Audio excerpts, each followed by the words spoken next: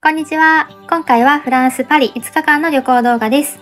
女一人のヨーロッパ周遊記もイギリス・ロンドン、ベルギー・ブリュッセルに続いて3都市目になりました。パリではしっかり芸術を楽しむぞの気持ちで、美術館などにお得に入れるミュージアムパス2日券を購入しています。行ってよかったところ参考になったら嬉しいです。まずはブリュッセルでユーロスターに乗るところから始めます。実はここで購入していたチケットと列車の番号や出発時間が違って、係員さんに尋ねることになったんですが、1人目の方は次来る電車に乗っていいって言うし、もう1人は列車遅れてるから20分後に来るのに乗ってって言うし、どちらを信じるか悩みましたが、なんとなく2人目が正しいんだろうなと思って20分ほど遅れたユーロスターに乗り込み、無事自分の座席に着くことができました。海外の方皆さん親切だったんですけど、時々人によって言うことが違うので、困ったら同じことを何人かに聞いてみるのがいいなと学びました。さてホテルに着いて近くのレストランにランチに来ました。ただ野菜と揚げ物が食べたくて全然パリ感のないものを選んだんですがとても美味しかったです。ちなみにパリでのお宿もホステルの女性限定部屋。ベッドはとても快適で施設も綺麗でしたがトイレとシャワーが部屋の外だったのがやや使いづらかったです。1日目は移動とご飯だけで終えて2日目は朝一番からバスツアーに参加しました。目的地はモンサンミッシェル。自力で行くのはちょっとハードルが高そうですし、日本語ツアーがたくさん選べたので参加を決めました。ヨーロッパ旅行に来て8日目だったので、日本語での案内がめちゃくちゃ染みてありがたいと思いながらバスに揺られます。モンサンミッシェル内は混むだろうなと思ったので、昼食ありのプランで予約。ツアーのほとんどの方がそうしていたようでした。レストランでのご飯はオムレツなどなど上品な味付けでした。デザートだけめっちゃ甘くてちょっと残しちゃいました。レストランからは自力で移動します。無料のバスが頻繁に走っているので方向さえ間違わなければ簡単でした。バス停から少し歩けばモン・サン・ミッシェルが目の前に。やっぱりヨーロッパって昔の建造物がしっかり残っているので雰囲気がダイレクトに感じられてすごく観光の見どころが多いなと思いました。中は狭くて建物がひしめき合ってる感じで人は多いですが鎌倉とか台湾の9分ほどじゃないなと思いながら散策しました。修道院のチケットはバスで配られていたのでプレオーダーの列に並んですぐに入れました。修道院の中は結構階段が多かったので絶対にスニーカーがおすすめです。6月でも結構暑くて、私は長袖だったので割としんどかったです。でも階段を上がった先の景色は遠くまで見渡せる広さでとても気持ちが良かったです。ちょうど一休みにいい場所で鳥を眺めたり写真を撮ったりして休憩します。見学ルートは分かりやすいのでガイドがなくても人の流れに沿っていれば迷うことはありませんでした。城壁の方をぐるっと歩くコースもあったんですが体力を考えてあとはどっかのお店でゆっくりしようと戻ることにしました。Google マップで近くのお店を見て、口コミが良かったここのお店に入ってみることにします。昼は食べたのでデザートだけでもいいか聞くと OK だったのでアイスだけ注文。これが本当に濃厚で美味しくてとっても好きな味でした。お腹に余裕があればクレープも食べたかったなと思います。次モンサンミッシェルに行くことがあればお昼はここに来てみたいなと思いました。ちなみにモンサンミッシェルにもう一回行きたいなと思ってる理由はここが満潮の時の写真を見たんですけど、水に映ったモン・サン・ミッシェルがすごく綺麗だったので、いつか泊まりできて生で見てみたいなと思います。なかなかもう一回行きたい観光地って私はあまりないので、すごくレアな気持ちでした。翌日はカフェからスタートします。キッシュとエクレア、フランス生まれの食べ物はとりあえず食べておこうの精神でしたが、めちゃくちゃ美味しかったです。ここのお店もすごくおすすめです。そしてこの日はベルサイユ宮殿に行きました。冒頭でもお話ししたミュージアムパスを2日間買っていたので、ベルサイユ宮殿に入った瞬間から48時間いろんな美術館に入り放題になります。パリは美術館、博物館たくさんありますが、それぞれで買うと何らかの高くつくので、いくつか行きたい美術館がある人は値段を比べて購入してみるのをおすすめします。ちなみにミュージアムパスの公式ページからミュージアムパスで入ることができる施設の一覧をマップで見ることもできるので目的地の近くに別の美術館がないかなっていう風に検索をして予定にないところに行ってみるのも楽しかったのでこの使い方もおすすめです。ちなみにベルサイユ宮殿は無料の公式アプリを入れておけばいくつか解説を聞くことができます。日本語に対応している場所も結構あるのでこれも本当におすすめ。ただ現地でやると通信がすごく遅いので事前にダウンロードしておいた方がいいと思います。私はそれをしてなくてダウンロードが待てずに解説を聞かず歩いたところが結構ありました。ただ解説を聞いた方がもちろん面白いんですが何も聞かずに見るだけでもすごく圧倒される装飾でまさに豪華絢爛国力の強さというかとにかく財力を感じる宮殿でした。ちゃんと勉強してもう一回来た方がいいかもしれないって思ってます。も美しいみたいなんですけど、別料金ですし、この日は暑かったので、宮殿だけでお腹いっぱい楽しんで帰りました。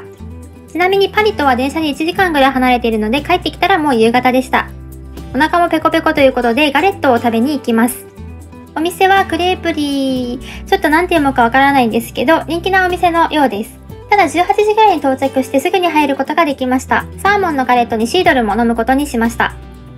シードルが炭酸入りのリンゴのお酒で、度数は5.5%と聞いたので、まあビールぐらいかなと思って一瓶もらったら、飲み終わる頃にはまあまあいい気分になりまして、本当はクレープも食べたかったんですけど、お腹パンパンで退散しました。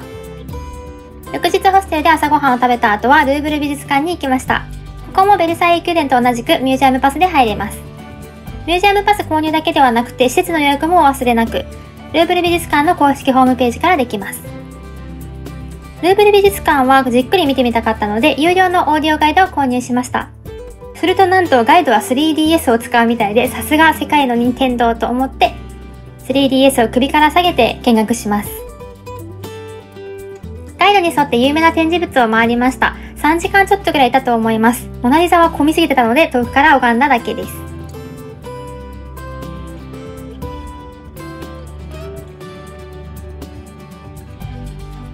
ランチはルーブル美術館から歩いてすぐのこちら。クロワッサンもケーキもめちゃめちゃ美味しかったです。結構な人気店みたいで注文の列も人が多いので、割と声を張り上げて注文する必要がありました。店員さん優しいのでしっかり聞いてくれると思います。とても活気があって楽しいお店でした。続いてはオルセイ美術館、それからオランジュリー美術館に行きます。こちらもミュージアムパスで利用可能ですが、時間の予約だけしていきました。どちらもすごく人気な美術館なので見どころたくさんありますが、時間予約はしていった方がスムーズに入れると思います。どっちも展示だけじゃなくて施設自体もすごく美しくて見どころたくさんありました。間でジュエリル庭園にも寄りましたが、景色の綺麗な湖がある反面、パリオリンピックの準備が進んでいて少し武骨な雰囲気でした。中でもすごく気に入ったのがメリーゴーランドです。公園にあるメリーゴーランドって少女心をくすぐられるというか、とても好きなんですよね。いい場所でした。それからミュージアムパスで入れるところを他に検索してたどり着いたのが、ホテル・ドゥーラ・マリーヌという施設。もともとは王室の調度品を保管する場所だったようですが、現在は見学スポットとして、いろいろな言語のオーディオガイドとともに見て回ることができます。私ここが本当に気に入って、なぜかというと、日本語オーディオガイドの人の声がめちゃめちゃいいです。あと、ガイドにストーリー性があるというか、ただ説明されるだけではなくって、当時の人の話し声や足音なんかも入っているので、暮らしがリアルに想像できて疑似体験できるような気持ちになります。私は予約をせずに行って30分後の案内にはなりましたが、待つ価値も大割ですし、他の観光地とも近いので、時間に余裕がある方はぜひお勧めしたいです。外の廊下からの眺めもオリンピックの建物がなければかなりいいんだろうなと思います。まあこれはこれで2024年の今しか見れないのでいい経験でした。この日は早めに宿に帰って9時過ぎの夕日を眺めたりして翌日へ。次の日の朝ごはんはテラスで食べてみました。6月は気候が良くて何をするにも気持ちいい時期です。この日はランドマーク巡りを予定していて、まずはエッフェル塔を目指しますが、途中でお手洗いに行きたくなったので、近くにミュージアムパスで入れる施設がないかなと検索しました。綺麗なトイレを使いたいという理由で施設に入るのも変ですが、美術館入り放題のミュージアムパスのメリットかもしれません。お手洗いついでに見て回ったんですが、パリの建造物の解説がたくさんあって、詳しい人はめちゃめちゃ面白いと思います。2階の窓から見るエッフェル塔も綺麗でした。そしてエッフェル塔を直接見に行きます。まさにパリといえばの景色でとてもとても感動しました。特に今回オリンピックのマークがついていたので、この時期来れてよかったな、得したなという気持ちです。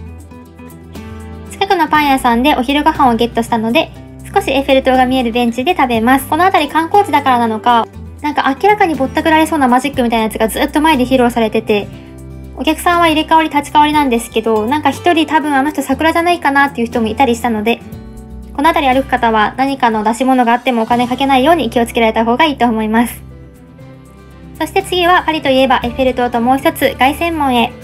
凱旋門もミュージアムパスで上に登ることができるので、なかなか階段は長いですが、登ってみることにしました。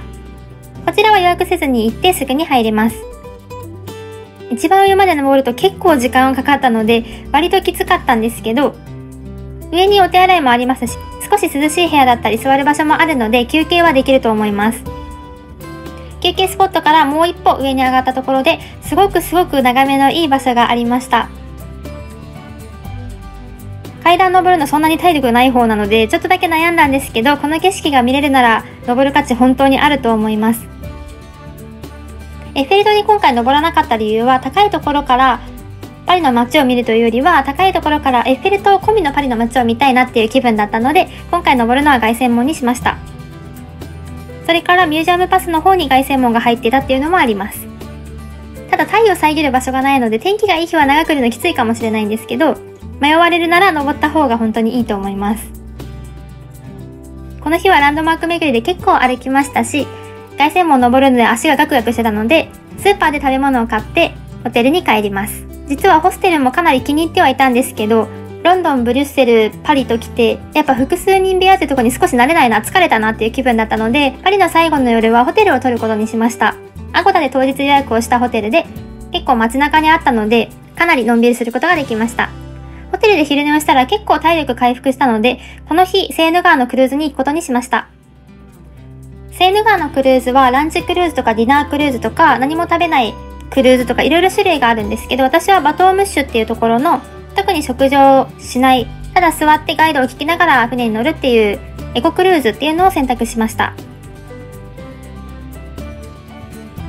パリの観光名所を一つずつ説明していってくれるんですが、フランス語や英語の後に中国語とか日本語とかいろんな言語で説明をしてくれるので、言語に不安がある方でも日本語の解説を聞いてパリの観光名所が全部わかると思います。私はもうパリ4日目の夜だったんですけど、正直これ初日に乗った方が良かったかもしれないなって思いました。私としては、ここ行ったな、あれ楽しかったなって思いながらクルーズ乗ったんですけど、どこに行こうかなって思いながらの初日だったら、もっと位置関係が分かりやすかったんじゃないかなってちょっと思いました。夕日に照らされてるエッフェル塔すごくすごく綺麗で、これはそんなに高くないので、本当に乗る価値ありだと思います。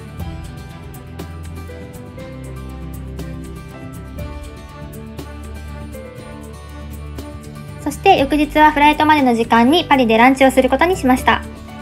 フランスのビール、これ結構メジャーなビールみたいなんですけど、結構飲みやすくてさらっとしていて、私はとても気に入りました。クロック蒸しも美味しかったです。この後シャルル・ド・ゴール空港にシャトルバスで向かって次の目的地イタリアのベネチアへ飛びます。ありがたいことに今回のヨーロッパ一人旅は飛行機の大幅な遅延やトラブルはなく過ごすことができました。